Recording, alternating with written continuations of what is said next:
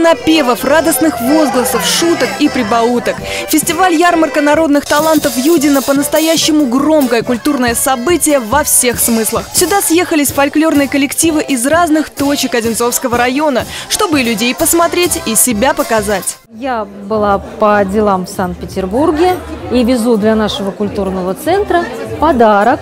Вот такой замечательный подарок, ретро-приемник от э, главы Петроградского района Голдунова Юрия Николаевича, который передает большой привет нашей земле и благодарит коллектив КДЦ «Молодежный» за их неравнодушие, а, за то, что для многих детей этот центр стал настоящим домом. И я от себя тоже говорю большое спасибо, за, что у наших деток глаза очень умные и светящиеся, и они любят, правда, сюда приходить.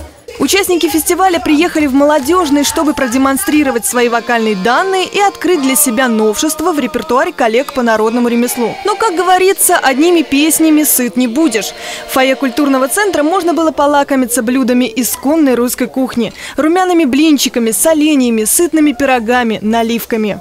Фестиваль чем интереснее, то, что здесь не надо места распределять, да, потому что для творческих людей э, сложно, тяжело их ставить на третье, на второе, да. Для кого-то это очень, ну, люди живут этим. Поэтому фестиваль – это просто площадка, где люди делятся своим творчеством, общением. Ну, это интересно. Культурно-досуговом центре всегда кипит жизнь.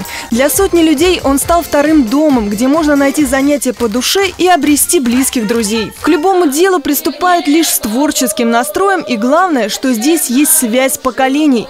Не зря ведь его назвали молодежный, а значит молодежи здесь всегда рады. Сейчас все-таки это последнее веяние, то, что народные традиции становятся, если можно так сказать, модными, да, то есть, э, если раньше было там круто, это там рэп э, э, и все остальные э, иностранные, да, веяния, то сегодня мы возвращаемся к нашей народной традиции, к нашей народной культуре.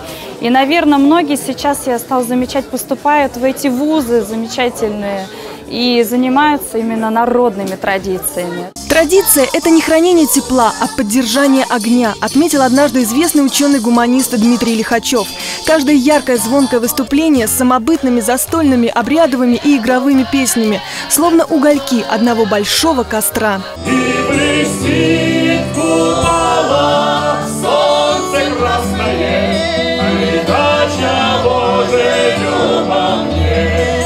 приехали ансамбли из разных поселений – Голицыно, Горское, Успенское, Назарьево, Одинцово, Власиха. И у каждого коллектива такие душевные названия – «Веселая кадриль», «Калинушка», «Привада», «Капельки солнца», «Раздолье» и «Белые росы». Очень хорошо, душевно приняли.